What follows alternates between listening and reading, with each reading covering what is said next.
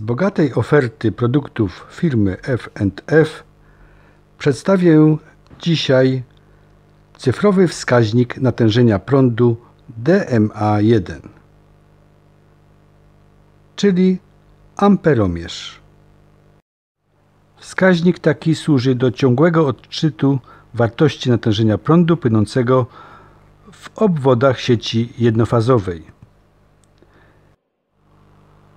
Tu widzimy przyrządy zabudowane już w rozdzielni po lewej woltomierz, po prawej amperomierz.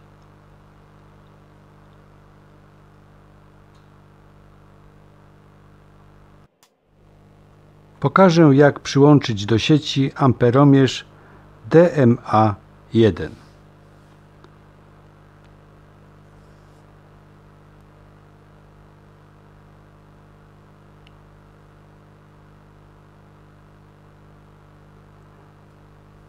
Przed przystąpieniem do prac wyłączamy napięcie. Typowy układ szyna PE, szyna N i szyna L.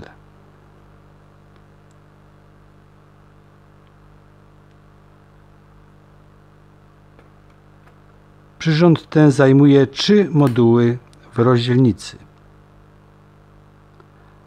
A to podstawowy schemat włączania amperomierza do prądu. Zawsze szeregowo.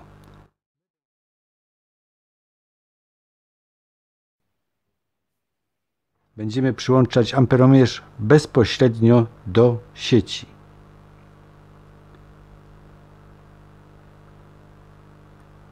Neutralny do zacisku numer 6.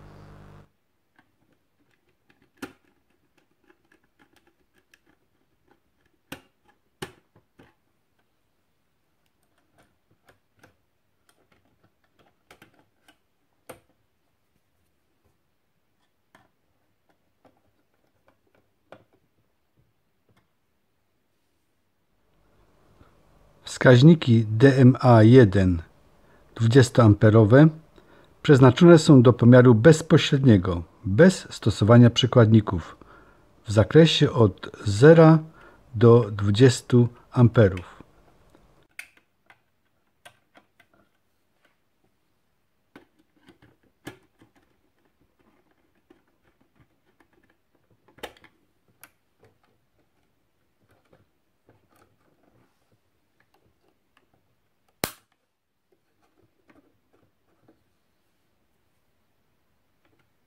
I teraz faza L do kontrolowanego obwodu do zacisku numer 2.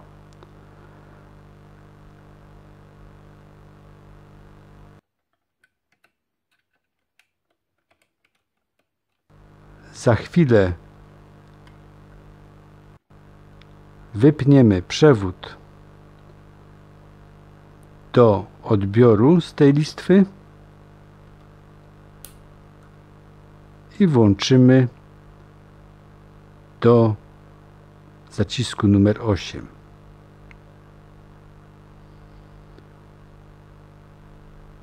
W ten sposób amperomierz będzie włączony szeregowo z obwodem kontrolowanym.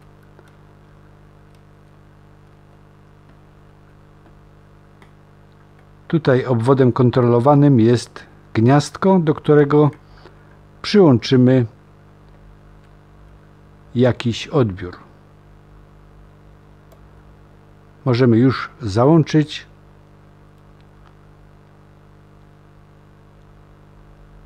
i amperomierz gotowy do użycia.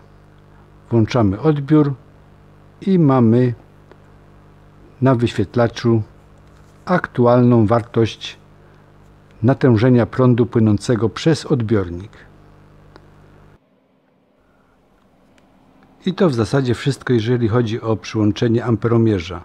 Teraz możemy dodać jeszcze woltomierz, cyfrowy wskaźnik napięcia i będziemy mieć komplet wskazań naszej sieci domowej.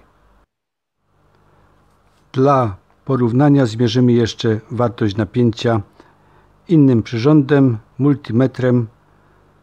Różnica około 1 do 2 V.